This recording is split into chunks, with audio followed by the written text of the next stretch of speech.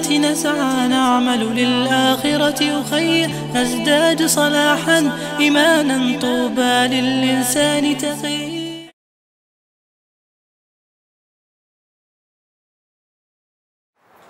أعوذ بالله من الشيطان الرجيم. بسم الله الرحمن الرحيم. رب اشرح لي صدري ويسر لي أمري واحلل عقدة من لساني يفقه قولي. عقیدہ مومن سیریز کے تحت ہم اپنے پچھلے کئی لاسٹ سیشن سے قیامت کی چھوٹی نشانیوں کے حوالے سے گفتگو کر رہے ہیں اور آج ہم قیامت کی جس نشانی کے بارے میں بات چیت کریں گے، وہ ہے علم کا کم ہونا۔ ہم سب یہ جانتے ہیں کہ ایک مومن کی اور ایک مسلمان کی زندگی کا بنیادی مقصد صرف ایک ہی ہے اور وہ ہے اللہ تعالیٰ کا تقوی اختیار کرنا۔ اور تقوی اختیار کرنے کا مطلب یہ ہے کہ اللہ کے پرہیزگار بندے بن جائیں۔ اور پرہیزگار بندے بننے کا مطلب یہ ہے کہ جن کاموں کے کرنے کا اللہ تعالیٰ نے حکم دیا ہے، ان کو کیا جائے۔ وہ نیکی کے کام ہیں۔ اور جن کاموں کے کرنے سے اللہ تعالیٰ نے ہمیں روکا ہے، ان سے اپنے آپ کو باز رکھا جائے اور اپنے آپ کو ڈسپلن کیا جائے۔ اور یہ سیلف کنٹرول بھی ہے۔ اب یہ تو طے ہو گیا کہ ایک مسلمان کی زندگی کا بنیادی مقصد تقوی اختیار کرنا ہے۔ لیکن ظاہر ہے کہ جب تک ایک مسلمان کو اپنے دین کا صحیح علم نہیں ہوگا، صحیح شعور نہیں ہوگا، وہ کبھی بھی اپنے دین کی تعلیمات پر عمل کرنے کے قابل نہیں ہو سکتا۔ یہی وجہ ہے کہ ہم دیکھتے ہیں کہ دین اسلام کا آغاز بھی جو ہوا تھا، وہ اللہ تعالیٰ کی طرف سے جو پہلا لفظ حضور اکرم صلی اللہ علیہ وسلم پر وہی کی شکل میں نازل کیا گیا، وہ تھا اقرا پڑھو۔ کیونکہ پڑھنے سے انسان کے جہالت کے اندھیرے دور ہوتے ہیں۔ جب انسان علم حاصل کرتا ہے، تو اسے یہ حقیقت سمجھ میں آتی ہے کہ اس نے اپنی دنیا کیسے سنوارنی ہے اور اپنی آخرت کے لیے کیا کوششیں کرنی ہیں۔ اگر کسی شخص کے پاس علم نہیں ہے، تو اس کے نتیجے میں نہ اس کی دنیا کی بہتری ہو سکتی ہے اور نہ ہی اس کی آخرت کی تعمیر ہو سکتی ہے اور نہ ہی وہ اللہ تعالیٰ کا تقوی اختیار کرنے کے قابل ہو سکتا ہے۔ تو علم کی اہمیت سے انکار نہیں کیا جا سکتا۔ حضور اکرم صلی اللہ علیہ وسلم کو جو پہلی تاکید کی گئی اور انسانیت کو جو پہلا درس دیا گیا، وہ یہ کہ گمراہی کے اندھیروں سے نکلنے کے لیے پڑھو اقرا پڑھیے۔ اس کی ایک وجہ یہ بھی ہے کہ پڑھنا یا علم حاصل کرنا یہ انسان کی کامیابی کی بنیاد ہے۔ دنیا میں بھی اسے کامیابی حاصل ہوتی ہے اور آخرت میں بھی اسے کامیابی حاصل ہوتی ہے۔ اور جب کوئی مسلمان علم حاصل کرتا ہے یا حتیٰ کہ ایک عام انسان بھی علم حاصل کرتا ہے تو اس کے نتیجے میں اس کے عمل میں بہتری آتی ہے۔ اس کی سوچ پہلے سے بہتر ہونے لگتی ہے۔ اس کا شعور پہلے سے بہتر ہونے لگتا ہے۔ اور آہستہ آہستہ وہ ایک ایسی پرسنالٹی میں ٹرانسفارم ہوتا جاتا ہے کہ جو پہلے سے زیادہ مفید ہوتی ہے اور جو پہلے سے زیادہ نفع بخش ثابت ہوتی ہے۔ بہت تشویش ہوتی ہے ہمیں اس وقت جب ہم حضور اکرم صلی اللہ علیہ وسلم کی احادیث کا مطالعہ کرتے ہیں اور ہمیں پتہ چلتا ہے کہ قیامت کی نشانیوں میں سے ایک نشانی یہ بھی ہے کہ جب قیامت کا زمانہ قریب ہوگا تو اس کے نتیجے میں امت مسلمہ بالخصوص اور انسانیت بالعموم علم سے محروم ہو جائے گی یا علم اٹھا لیا جائے گا۔ سوال یہ پیدا ہوتا ہے کہ یہ کیسے ممکن ہے؟ اس سے پہلے کہ ہم اس سوال کے جواب کو تلاش کریں، سب سے پہلے ہم دیکھتے ہیں کہ حضور اکرم صلی اللہ علیہ وسلم کی وہ کون سی احادیث ہیں جو قیامت کی اس اہم ترین اور الارمنگ نشانی کی طرف اشارہ کرتی ہیں۔ اس حوالے سے مثال کے طور پر پہلی حدیث حضرت ابو موسیٰ الاشری اور عبداللہ ابن مسعود روایت کرتے ہیں، رضی اللہ عنہما، اور یہ دونوں کہتے ہیں کہ حضور اکرم صلی اللہ علیہ وسلم نے ہم سے فرمایا کہ جب قیامت کا زمانہ قریب ہوگا، آخرت کا زمانہ قریب ہوگا، تو جہالت عام ہو جائے گی اور اس میں علم اٹھا لیا جائے گا، قتل کثرت سے ہونے لگے گا اور یہ ان میں سے کچھ ایسی نشانیاں ہیں کہ جس کے اوپر بات ہم اپنے پچھلے سیشنز میں کر آئے ہیں۔ تو آپ یہ دیکھیے کہ اس حدیث میں حضور اکرم صلی اللہ علیہ وسلم اس نشانی کی طرف اور اس حقیقت کی طرف اشارہ کرتے ہیں کہ جب قیامت کا زمانہ قریب آئے گا تو امت مسلمہ کو علم سے محروم کر دیا جائے گا۔ اس کے بعد ایک اور حدیث ہے۔ انس رضی اللہ تعالیٰ عنہ کہتے ہیں کہ میں نے حضور اکرم صلی اللہ علیہ وسلم کو گفتگو کرتے ہوئے سنا۔ آپ صلی اللہ علیہ وسلم فرما رہے تھے کہ قیامت کی نشانیوں میں سے ایک یہ ہے کہ علم اٹھا لیا جائے گا۔ علم کا خاتمہ ہو جائے گا اور جہالت عام ہو جائے گی۔ اور شراب کثرت سے پیا جائے گا۔ مرد حضرات ختم ہو جائیں گے اور صرف خواتین رہ جائیں گی۔ حتیٰ کہ ایک مرد چالیس خواتین کو اپنی کفالت میں لے گا۔ یعنی اس حد تک مردوں کی تعداد میں کمی واقع ہوگی اور خواتین کی تعداد میں اضافہ ہو جائے گا۔ ایک اور حدیث کے الفاظ ہیں، حتیٰ کہ ایک مرد کے زیر کفالت پچاس خواتین ہوں گی۔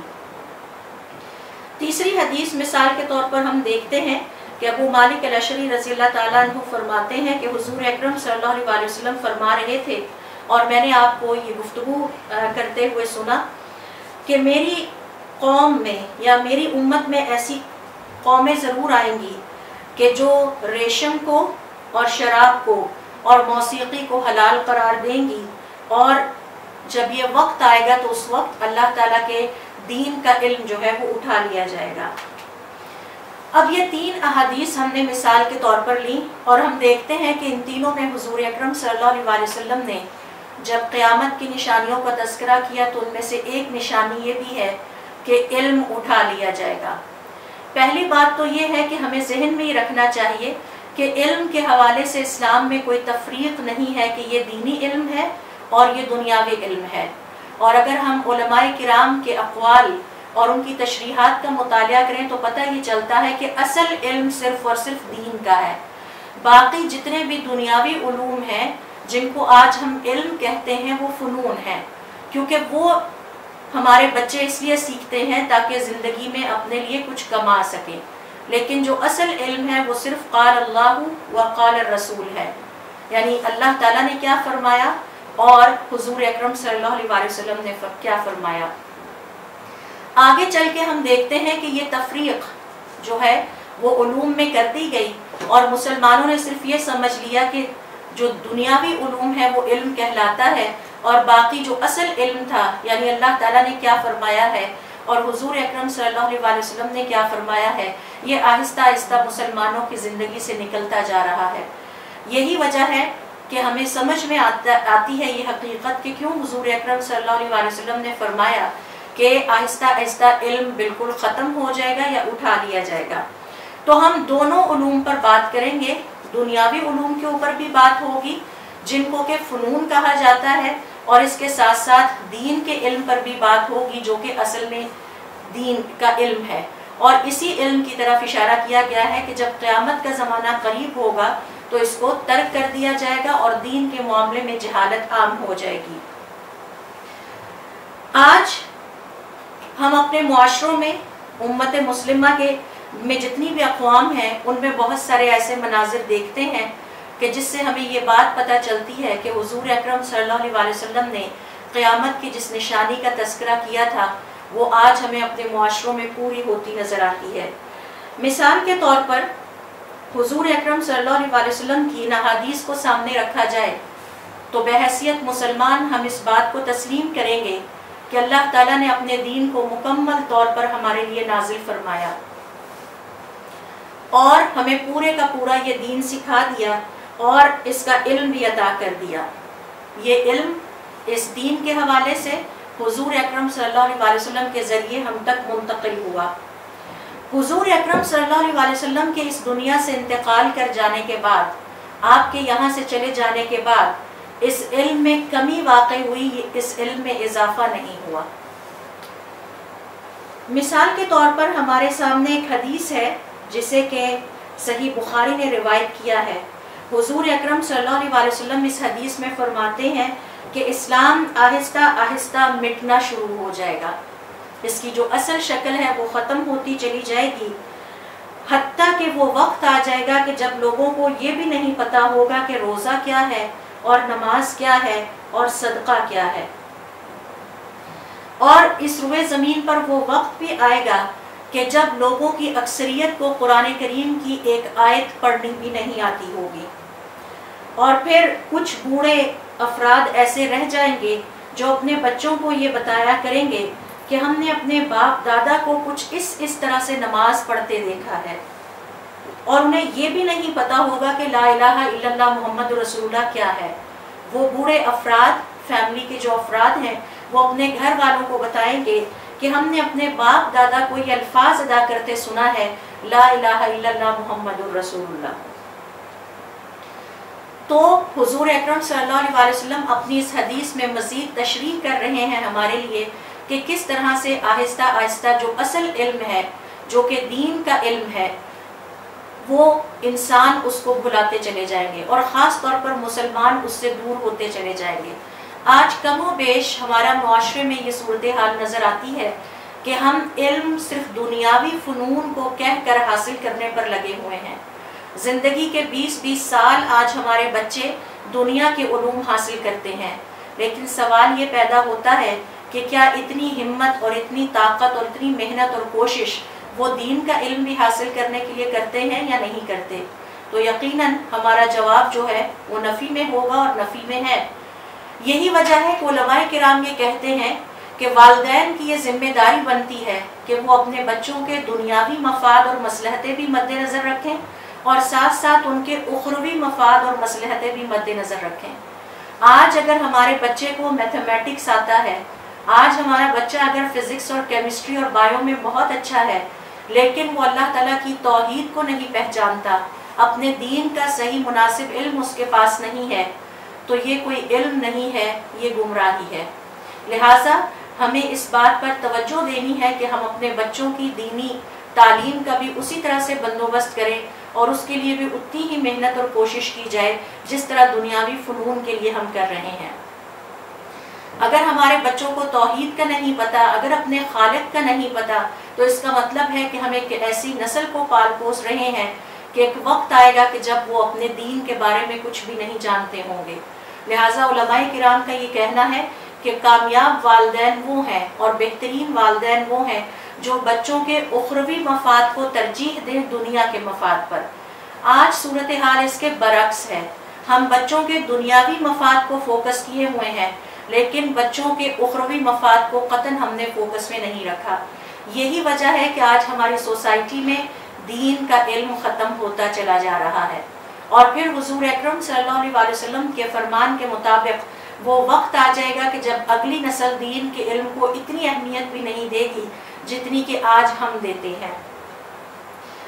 اسی طرح سے علماء کرام کا یہ کہنا ہے کہ حضور اکرم صلی اللہ علیہ وسلم نے یہ جو قیامت کی نشانی بیان کی ہے کہ علم ختم ہوتا چلا جائے گا، اور علم سے مراد یہی ہے کہ اللہ تعالیٰ نے کیا فرمایا اور حضور اکرم صلی اللہ علیہ وسلم نے کیا فرمایا۔ اس کے بارے میں مزید احادیث کے مطالعے سے یہ پتہ چلتا ہے کہ اس علم کے ختم ہونے کی ایک وجہ اچھے اور نیک نیت علماء کا ختم ہو جانا ہے۔ اور جو علماء ہیں، یا تو ان کی موت واقع ہو جائے گی۔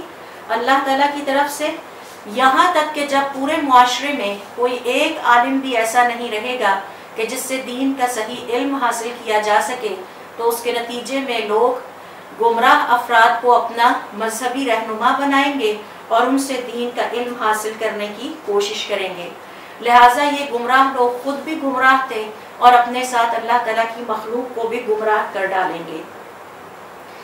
آج آپ یہ دیکھیے کہ دین کے علم سے دوری کے کئی مناظر ہمارے معاشرے میں نظر آتے ہیں اور علماء کرام ہماری توجہ اس بات کی طرف دلاتے ہیں۔ اہل علم ہماری توجہ اس بات کی طرف دلاتے ہیں کہ آہستہ آہستہ کس طرح ہمارے مسلمان اپنے دین کے علم سے دور ہوتے جا رہے ہیں۔ اور جب ایک مسلمان کے پاس دین کا صحیح علم نہیں ہوگا، تو وہ اپنی زندگی میں اللہ تعالیٰ کا تقوی کیسے اختیار کرے گا؟ اپنی دنیا کے ساتھ اپنی آخرت کی تعمیر کیسے کرے گا؟ یہ مناظر کیا ہیں؟ مثال کے طور پر، میں اور آپ، ہم سب یہ جانتے ہیں کہ اکثر اوقات ہمارے بچوں کے نصاب تعلیم میں ترقی کے نام پر اور بہتری کے نام پر تبدیلی کر دی جاتی ہے۔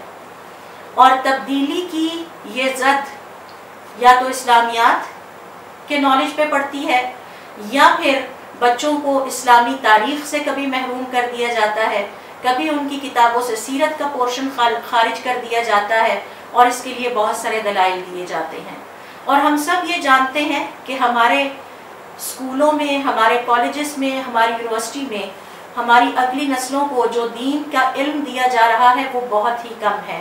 اور ذرا تصور کیجیے کہ وہ اتنا کم ہے اور اس کے ساتھ ساتھ اس میں کوئی دلچسپی کا عنصر نہیں ہے کہ ہمارا بچہ اس کو شوق سے سیکھ سکے۔ بلکہ اس سبجیکٹ کو تو اہمیت ہی نہیں دی جاتی۔ میں نے کئی ایسے اسکولوں کو دیکھا کہ جہاں پر اسلامیات کا سبجیکٹ پڑھانے کے لیے اسلامیات کا ٹیچر ہی نہیں رکھا جاتا۔ اور یہ کہا جاتا ہے کہ ایک ایسا سبجیکٹ ہے کہ جو فزکس کا استاد بھی پڑھا سکتا ہے اور کیمسٹری کا استاد بھی پڑھا سکتا ہے اور اس طرح سے۔ اور پھر ذرا تصور کیجیے کہ یہ جو ہمارے سلیبس میں برائے نام سا اسلام ہے، دین کا علم ہے جو ہم اپنی اگلی نسلوں کو منتقل کر رہے ہیں، اگر یہ بھی ختم کر دیا جائے تو کیسے ممکن ہے کہ ہمارے آنے والی نسلوں کو اپنے دین کا علم ہوگا یا ان کو اپنے دین کا کچھ شعور ہوگا؟ پھر اگلی بدقسمتی یہ ہے کہ مسلمان معاشروں میں دینی علوم اور دنیاوی علوم میں تفریق کر دی گئی ہے۔ اسلام میں ایسی کوئی تفریق نہیں ہے۔ فزکس اور کیمسٹری میں بھی ایک طالب علم کے اندر اسی طرح سے اللہ تعالیٰ کا کانسیپٹ اس کے ذہن میں اجاگر کیا جا سکتا ہے، جس طرح کے اسلامک سٹڈیز میں کیا جا سکتا ہے۔ تو اس تفریق کے نتیجے میں بھی ہم اپنے معاشرے میں آج دو انتہاؤں پر دو قسم کے طبقات پاتے ہیں۔ ایک انتہا پر ہمارے وہ سیکولر لوگ کھڑے ہیں کہ جنہوں نے ساری زندگی حصول علم میں صرف کی، لیکن اس کے باوجود وہ ڈگری یافتہ جاہل کہلا سکتے ہیں کیونکہ انہیں دین کا علم نہیں ہے۔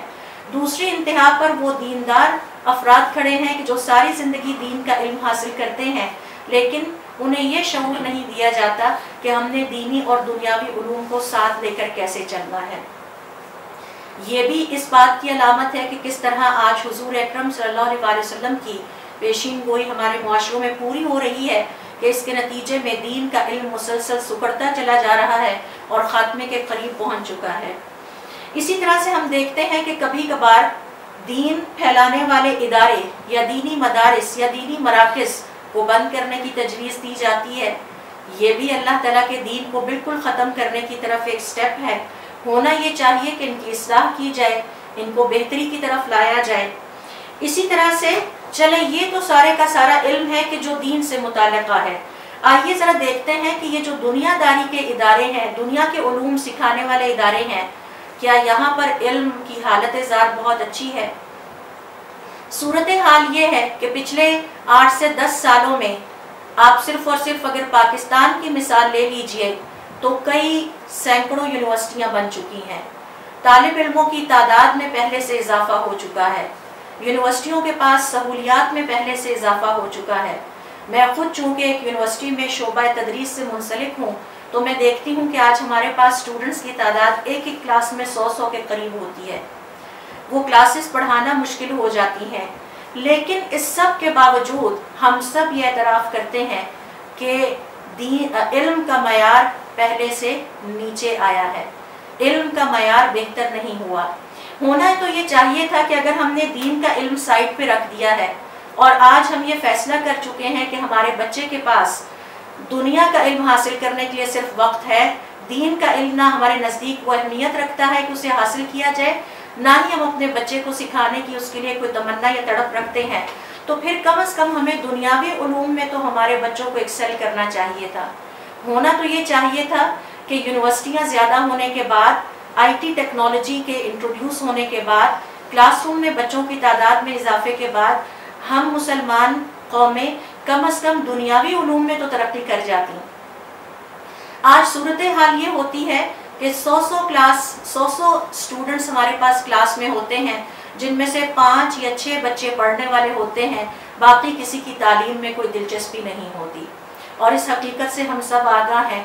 اور پھر ہم سب آپس میں بیٹھ کر یہ بات اس پہ غور کرنے کی کوشش کرتے ہیں کہ ہمارے تعلیمی ادارے روح بزوال کیوں ہیں؟ ہمارا نظام تعلیم روح بزوال کیوں ہے؟ ہماری جو ایجوکیشن کی شرح ہے اور جو ایجوکیشن کا لیول ہے، وہ پہلے سے بہتر نہیں ہوا۔ ہم کوانٹٹی کی طرف جا رہے ہیں، ہم کوالٹی لوز کرتے جا رہے ہیں۔ آج ہم سو سٹوڈنٹس ایک کورس میں پاس کر کے نکالتے ہیں، لیکن ان میں سے کام کے لوگ دو یا تین نکلتے ہیں۔ اور صورتحال یہ ہے کہ طالب علموں سے پوچھا جائے تو وہ کہتے ہیں روزگار نہیں ملتا، اور اداروں سے پوچھا جائے تو وہ کہتے ہیں ہمیں کام کے بچے ہی نہیں ملتے۔ دین کا مطالعہ کرتا ہے اور حضور اکرم صلی اللہ علیہ وسلم کی احادیث کا مطالعہ کرتا ہے اور پھر اپنے معاشرے میں جو کچھ ہو رہا ہے اس پر نظر ڈالتا ہے تو اس کے اس یقین میں اضافہ ہو جاتا ہے کہ حضور اکرم صلی اللہ علیہ وسلم آج سے چودہ سو سال پہلے جو فرما گئے، وہ سب آج ہم اپنی آنکھوں سے ہوتا دیکھ رہے ہیں۔ نہ تو ہم دنیاوی علوم میں ایکسل کر پائے اور دین کے علم کو تو ہم نے ویسے ہی بوجھ سمجھ کر ایک سائڈ پہ رکھ دیا۔ یہی وجہ ہے کہ آج نہ ہمارے علم میں برکت ہے اور نہ ہمارے آنے والی اگلی نسلوں میں ہمیں برکت کے اثرات نظر آتے ہیں۔ اور یہ بات حضور اکرم صلی اللہ علیہ وسلم کی حدیث کو پورا کرتی ہمیں یہ حقیقت دکھائی دیتی ہے۔ اس کے بعد ہم دیکھتے ہیں کہ علماء کرام کا یہ کہنا ہے کہ یہ جو دین کا علم ہمارے معاشرے میں کم ہوتا چلا جا رہا ہے، اس کی ایک وجہ یہ بھی ہو سکتی ہے کہ اب علم کے حصول میں وہ اخلاص نہیں رہا۔ جو پہلے علماء ہوتے تھے، وہ دین کا علم اس لیے حاصل کرتے تھے کہ وہ اس سے اللہ تعالیٰ کے دین کی خدمت کریں گے۔ لوگوں کو اللہ تعالیٰ کا دین سکھائیں گے، ان کو تقوی کا شعور عطا کریں گے۔ آج تمام لوگ دین علم اس لیے حاصل کرتے ہیں کہ وہ اس سے دنیا کا پیسہ کمائیں گے۔ کوئی بھی طالب علم اپنے دل میں یہ تمنا نہیں رکھتا۔ پیرنٹس اپنے بچوں کو ایجوکیٹ نہیں کرتے کہ آپ نے یہ علم اس لیے سیکھنا ہے کہ اس کا ہمارے دین میں بہت زیادہ ثواب ہے۔ اور ہمارے پرانے علماء جو تدریس کرتے تھے یا جو پڑھاتے تھے، وہ اس کے لیے اجرت نہیں لیتے تھے۔ وہ اپنی جیب سے نکال کر طالب علموں پہ خود خرچ کرتے تھے۔ اللہ تعالیٰ نے ان کی خلوص نیت کی وجہ سے انہیں دنیا کے مال کا محتاج نہیں ہونے دیا۔ آج جو بھی دنیا کا علم سیکھنے کے لیے بچہ گھر سے نکلتا ہے یا دین کا علم سیکھنے کے لیے بھی نکلتا ہے، تو اس کو پہلی بات یہی سمجھائی جاتی ہے کہ بہترین زندگی گزارنے کے لیے اسے محنت سے پڑھنا ہے۔ جبکہ بحثیت مسلمان، ہم سب جانتے ہیں کہ علم حاصل کرنے کی کتنی فضیلتیں ہیں۔ اگر کوئی بچہ گھر سے علم حاصل کرنے نکلتا ہے، تو اس کے والدین اسے یہ نہیں سکھاتے کہ بیٹے، یہ ایک بہت بڑا مشن ہے جس پہ آپ جا رہے ہیں اور جس کے بارے میں حدیث میں آتا ہے کہ جب کوئی شخص اللہ تعالیٰ کو خوش کرنے کی خاطر عبادت سمجھ کے گھر سے نکلتا ہے اور علم حاصل کرنے کے لیے گھر سے نکلتا ہے، تو اللہ کے فرشتے اس کے پاؤں کے نیچے اپنے پر بچھاتے ہیں۔ تو ہونا تو یہ چاہیے تھا کہ اس علم کا حصول عبادت سمجھ کے کیا جاتا۔ اللہ کی رضا اور اللہ کا تقرب حاصل کرنے کے لیے اس علم کو حاصل کیا جاتا۔ لیکن چونکہ آج کا مسلمان اپنے دین سے لا علم ہے اور دین سے دوری کے نتیجے میں تقوی کے اس معیار پر نہیں ہے، یہی وجہ ہے کہ جب اس نے اللہ کو بھلا دیا، اللہ تعالیٰ کی خوشی کو بھلا دیا، تو اللہ تعالیٰ نے اس کو بھی بھلا دیا اور اسے حالات کے حوالے کر دیا۔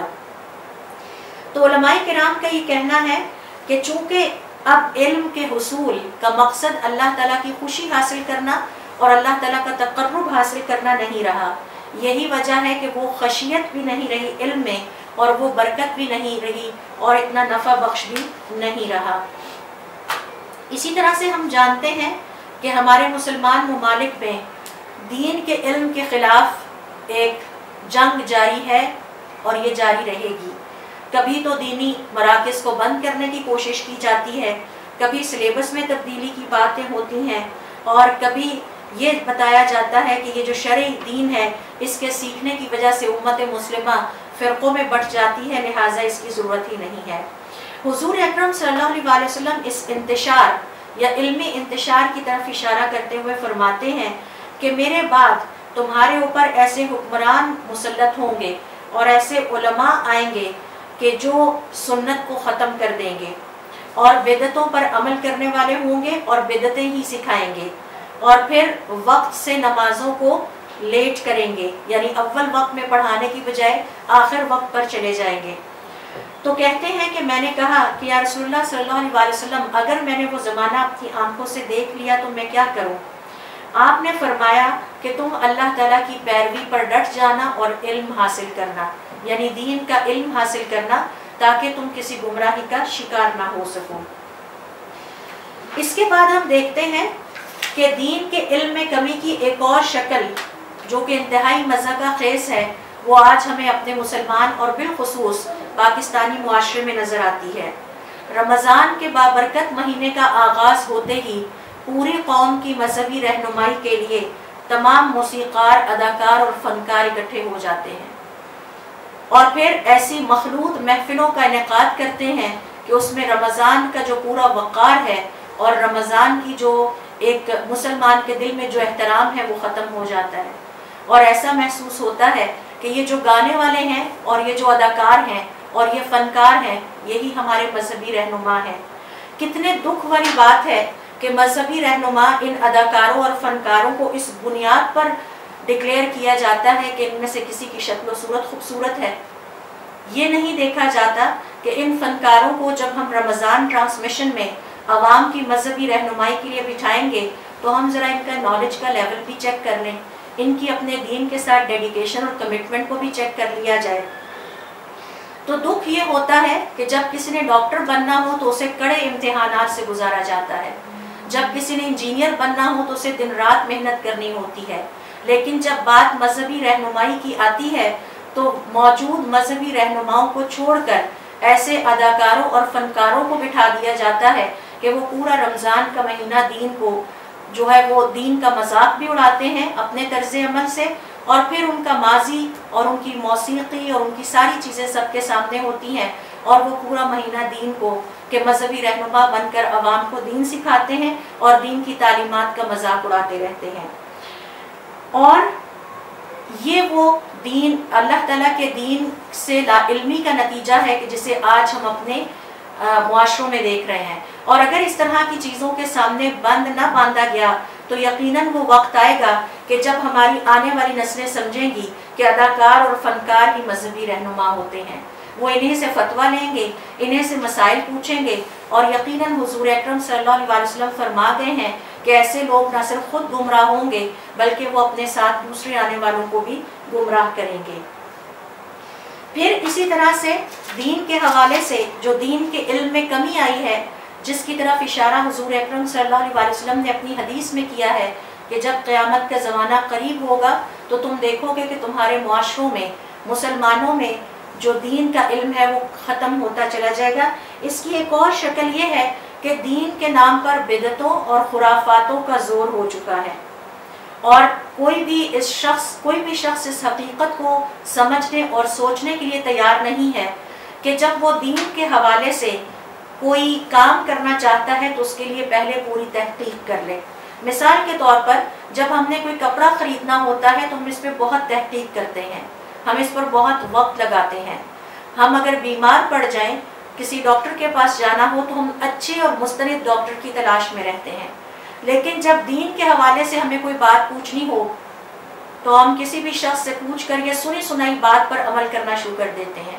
اور اکثر لوگوں سے اگر سوال کیا جائے کہ آپ یہ سب کچھ کیوں کر رہے ہیں، تو ان کا آگے سے جواب یہ ہوتا ہے کہ ہم نے سنا تھا۔ تو بغیر تحقیق کیے دین کی بدتوں پر عمل کرتے چلے جانا اور خرافات پر عمل کرتے چلے جانا، یہ بھی اس بات کی علامت ہے کہ ہمارے معاشروں سے دین کا علم ختم ہوتا چلا جا رہا ہے۔ اور قیامت کی نشانیوں میں سے ایک نشانی ہے، جس کی طرف حضور اکرم صلی اللہ علیہ وسلم نے اشارہ بھی کیا تھا۔ اب مزید جو آئی ٹی ٹیکنالوجی کی ترقی ہوئی ہے تو اس نے ہماری جہالت میں مزید ترقی کی ہے۔ ہونا تو یہ چاہیے تھا کہ آئی ٹی ٹیکنالوجی کے بعد ہم مزید بہتر علمی ترقی کی طرف جاتے، لیکن افسوسناک بات یہ ہے کہ اس نے بھی ہماری جہالت میں اور ہمارے امچورٹی میں اضافہ ہی کیا ہے۔ آپ کو اکثر واٹس ایپ پر ایسے میسج ملتے ہیں کہ یہ بات اتنی دفعہ شیئر کر دیں تو آپ کو اتنا ثواب ہوگا۔ حالانکہ اس کی دین میں کوئی دلیل نہیں ہوتی اور یہ بہت بڑا گناہ ہے۔ اللہ تعالیٰ پر جھوٹ باندھنا یا حضور اکرم صلی اللہ علیہ وسلم سے کوئی جھوٹی بات منسوخ کرنا کوئی معمولی بات نہیں ہے۔ حضور اکرم صلی اللہ علیہ وسلم فرماتے ہیں کہ جس کسی نے میرے اوپر جھوٹ باندھا یا مجھ سے کوئی ایسی بات منسوخ کی جو میں نے نہیں کی تھی، تو اسے چاہیے کہ وہ اپنا ٹھکانہ جہنم میں بنا لے۔ تو ایسے شخص کے لیے جہنم کی وعید ہے۔ اور یقیناً اگر ایسی جھوٹی باتوں کو ہم فالو کریں گے، تو ہمارے لیے بھی بہت سخت سزا ہوگی۔ لیکن یہ اس بات کی دلیل ہے کہ ہمارے معاشروں سے دین کا علم کس طرح سے ختم ہوتا چلا جا رہا ہے۔ لوگ دین کے اوپر اتنا عمل نہیں کرتے جتنا کہ بدتوں پر عمل کرتے ہیں، جتنا کہ خرافات پر عمل کرتے ہیں اور دین سمجھ کر اس کو کرتے رہتے ہیں۔ اسی طرح سے ہم ایک اور منظر اپنے معاشرے میں دیکھتے ہیں، جو دین کے بارے میں مناسب علم نہ رکھنے کی وجہ سے ہمیں یہ منظر نظر آتا ہے اور اس نے ہماری مشکلات میں اضافہ کیا ہے۔ دین کے علم میں کمی کے باعث ہماری ویلیوز یا اقدار میں تبدیلی آئی ہے۔ اور اس کی میں صرف ایک مثال آپ سے یہاں شیئر کروں گی، جیسے مثال کے طور پر شادی کا انسٹیٹیوشن ہے۔ اسلام میں شادی بہت آسان چیز ہے۔ صرف ایک نکاح کا تصور ہے اور ایک ولیمہ کا تصور ہے۔ لیکن ہمارے ہاں جب ہم نے اپنے دین کو ترک کر دیا اور ہم جہالت کا شکار ہو گئے، تو اس کے نتیجے میں شادی ایک انتہائی پیچیدہ اور مشکل عمل بن چکا ہے۔ یہ ممکن نہیں ہے کہ شادی کو انتہائی سادگی کے ساتھ کیا جائے۔ اسراف کرنا ضروری سمجھا جاتا ہے۔ حتیٰ کہ بچیوں کو اپنے گھر والوں کے ساتھ مل کر کمانا پڑتا ہے تاکہ وہ زیادہ سے زیادہ مال و دولت لے کر دوسرے گھر میں جائیں۔ اس کے نتیجے میں ان کی عمریں زیادہ ہو جاتی ہیں۔ بچوں کے اوپر یہ ایکسٹرا اور پیرنٹس کے اوپر ایک ایکسٹرا فائنینشیل برڈن آتا ہے۔ اور پھر اس کی رسومات کا جو آغاز ایک مہینہ پہلے ہوتا ہے اور ایک مہینہ بعد تک چلتا رہتا ہے۔ اور پھر اس کے جو اخراجات ہیں اس کے نتیجے میں جو ایک طبقاتی کشمکش ہمارے معاشرے میں جنم لے رہی ہے، اس کو ہم سب جانتے ہیں۔ اور پھر اس میں آئی ٹی ٹیکنالوجی نے مزید اضافہ کر دیا ہے۔ اب شادی کی ان رسومات کی ویڈیوز بننا بھی بہت ضروری ہیں، تصاویر بننا بھی بہت ضروری ہیں۔ اور یہ شادی دین جو کہ بہت آسانی کے ساتھ ہو سکتی ہے۔ حضور اکرم صلی اللہ علیہ وسلم کے زمانے میں جو شادیاں ہوئیں، بہت سادگی سے ہوتی تھیں۔ چند افراد کو بٹھا کر ایک اعلان کرنا مقصود ہوتا ہے اور جہیز یا بہت زیادہ بری اور اس طرح کی چیزیں تیار کرنا اور رسموں کے اوپر پیسہ خرچ کرنا، یہ سب چیزیں شیطان کو تو خوش کرتی ہیں، لیکن اللہ تعالیٰ کو ناراض کر دیتی ہیں۔ اور یہ سب اس لیے ہوتا ہے کہ ہم اپنے دین سے دور ہو چکے ہیں۔ اور جب اللہ تعالیٰ کو ناراض کر دیا جاتا ہے، تو ہم مسلمان اس بات کو فراموش کر دیتے ہیں کہ یہ شادی بے برکتی کا شکار بھی ہو سکتی ہے۔ یہی وجہ ہے کہ آج ہمارے معاشروں میں طلاق اور سیپریشن جیسی چیزیں زیادہ دیکھنے میں آ رہی ہیں۔ ہم اپنے بچوں کی زندگی کا آغاز ہی بے برکتی سے کرتے ہیں۔ اللہ تعالیٰ کو ناراض کر کے کرتے ہیں، جس کے نتیجے میں ہماری تمام تر محنتیں جو ہیں وہ ضائع ہو جاتی ہیں۔ تو یہ سب کی سب جو ہم نے اپنے لیے مشکلات اور جھنجھٹ پال لیے ہیں، یہ صرف اس کی وجہ یہ ہے کہ ہم دین سے دور ہیں۔ اگر ہمیں دین کا صحیح علم ہوتا ہماری زندگی کا مقصد اللہ تعالیٰ کے پرہیزگار بندے بننا ہوتا تو کوئی مسلمان اس بات کو گوارا نہیں کرتا کہ وہ شادی کے موقع پر اتنا پیسہ خرچ کرے کہ جس سے شیطان خوش ہو اور جس سے اللہ تعالیٰ ناراض ہو جائے۔ اسی طرح سے دین کے علم میں کمی کے نتیجے میں ایک اور بری بات جو ہمیں اپنے معاشرے میں اب نظر آتی ہے، وہ ہے بلا تحقیق فتوے جاری کر دینا۔ جس کی وجہ سے ایک انتشار پھیلتا ہے اور مسلمان جو پہلے ہی اپنے دین کو نہ سمجھتا ہے، نہ اس کے بارے میں مناسب علم رکھتا ہے، وہ اس کے اوپر مزید دین سے دور چلا جاتا ہے۔ ایک اور چیز جو بہت ہی افسوسناک ہمارے معاشرے میں دین کا علم نہ ہونے کی وجہ سے بڑھتی چلی جا رہی ہے، اور اس کی وجہ بھی صرف یہی ہے کہ آج ہم مسلمان اپنے دین کا صحیح علم نہیں رکھتے، وہ ہے دین کے نام پر قتل کرنا۔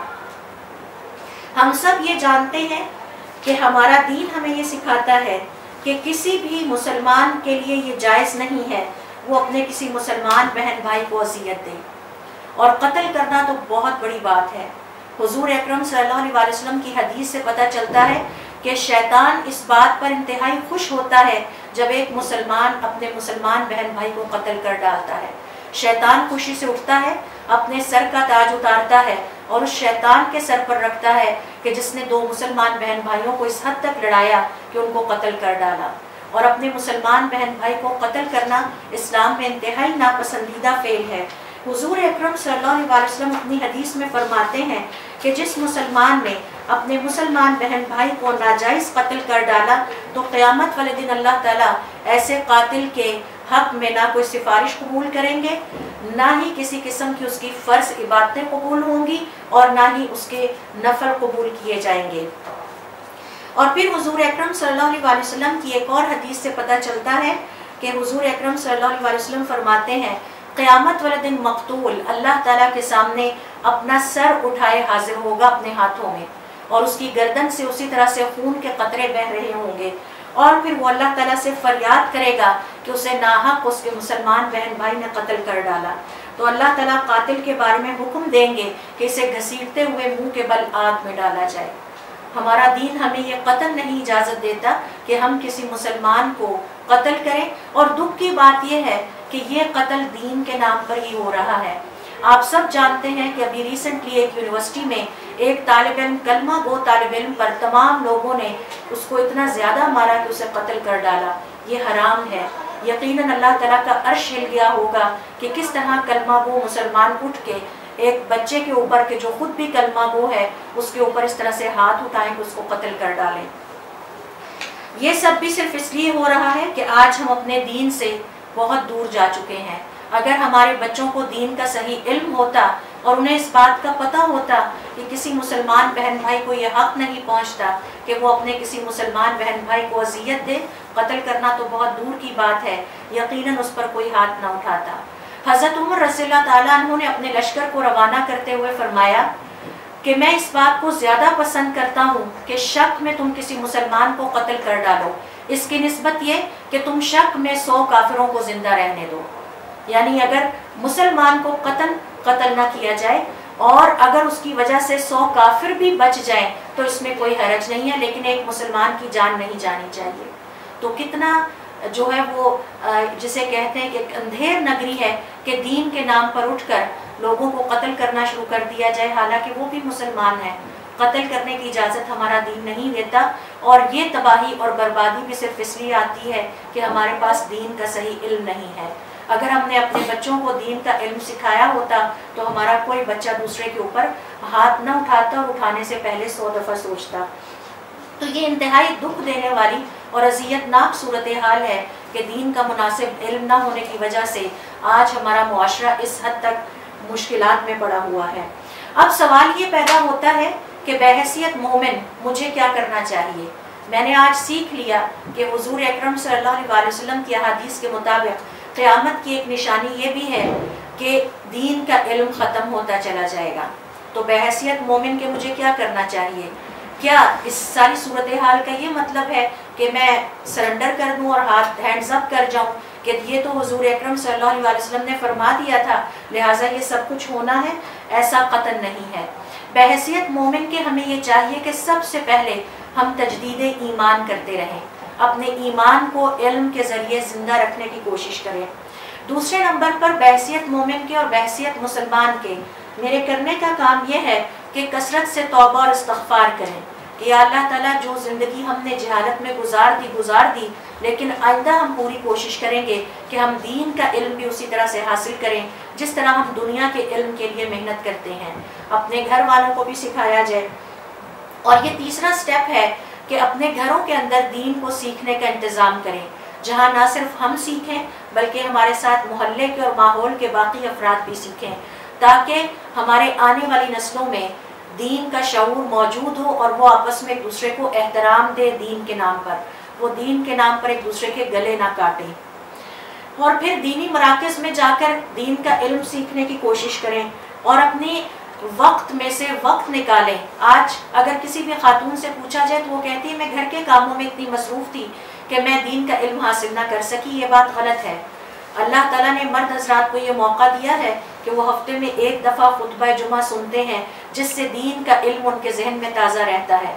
خواتین کو بھی چاہیے کہ وہ ہفتے میں کچھ وقت ایک گھنٹہ نکالیں، جس میں بیٹھ کر دین کا علم حاصل کریں۔ اور پھر چونکہ وہ فیملی کی بنیاد ہے، وہ اپنے بیٹوں اور بیٹیوں کو دین سکھا سکتی ہیں۔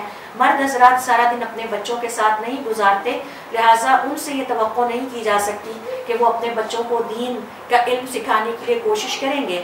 اگرچہ بحثیت فیملی کے سربراہ کے قیامت والے دن ان سے بھی سوال کیا جائے گا۔ کہ آپ نے اپنے بچوں کی تربیت کیسے کی؟ جس طرح ایک ماں سے سوال کیا جائے گا، لہٰذا اپنے بچوں کو جس طرح ہم کالجز میں بھیجتے ہیں یونیورسٹی میں بھیجتے ہیں، ان کے لیے دین کا علم سکھانے کا ہم بندوبست کریں۔ اور ہمیں یہ بات یاد رکھنی ہے، ہم معاشرے میں ممکن ہے کوئی چینج نہ لا سکیں۔ ہماری کوشش بہت چھوٹی اور حقیر ہو، لیکن اس کے باوجود ہم سے ہماری کوشش کے بارے میں پوچھا جائے گا۔ اسی طرح سے اگلا سٹیپ جو ہم نے لینا ہے، چوتھے نمبر پر وہ یہ ہے کہ بحثیت مومن کے ہمیں آخرت کے لیے تیار کرنا چاہیے۔ اپنے آپ کو بھی کرنا چاہیے، اپنی اولاد کو بھی کرنا چاہیے، کیونکہ موت کی کوئی ترتیب نہیں ہے۔ ہمیں نہیں پتا، کیا پتا کہ ہماری زندگی میں ہی ہمارے پاس بچے اس دنیا سے انتقال کر جائیں۔ تو اس کے اس سے پہلے کہ ہمیں بعد میں پچھتاوے اور حسرتیں ہوں کہ کاش ہم نے اپنے بچوں کو کچھ سکھایا ہوتا جس سے ان کی آخرت کی زندگی سور جاتی۔ اور پانچواں سٹیپ یہ ہے کہ بحثیت مسلمان یا بحثیت مومن کے کسی غلط کام کا حصہ نہ بنا جائے۔ دین کے نام پر جو جاہلانہ اور فضولیات آج کل ہمارے معاشرے میں پھیلی ہوئی ہیں، ہم اس کا حصہ نہ بنیں۔ بلکہ دین کا مطالعہ کر کے جو صحیح کام جن کے کرنے کا اللہ تعالیٰ نے حکم دیا ہے ان کا حصہ بنے مثال کے طور پر اللہ تعالیٰ کو یہ ناپسند ہے کہ ہم دین کے نام پر جھگڑا یا بحث کریں، لہٰذا ہمیں اس سے گریز کرنا چاہیے۔ اللہ تعالیٰ کو جھوٹ، چغلی اور غیبت ناپسند ہے، ہمیں اس سے اپنے آپ کو بچا کر رکھنا چاہیے۔ یہی وہ تقوی ہے جس کے بارے میں اللہ تعالیٰ نے ہمیں قرآن کریم میں بتا دیا ہے کہ تمہاری زندگی کا ایک ہی مقصد ہے کہ تم اللہ تعالیٰ کے فرما بردار بن جاؤ۔ جن کاموں کے کرنے کا اس نے حکم دیا ہے ان کو کرو اور جن کاموں کے کرنے سے روکا ہے، ان سے باز آ جائیں۔ لہٰذا اللہ تعالیٰ ہمیں توفیق دیں کہ ہم دین کا صحیح علم حاصل کر سکیں اور یہ جو آخرت کے زمانے کے فتنے ہیں، ہمیں ان کا مقابلہ کرنے کی توفیق دے سبحانک اللہم و بحمدک، نشہد اللہ الہ الا انت، نستغفرک و نتوب الیک۔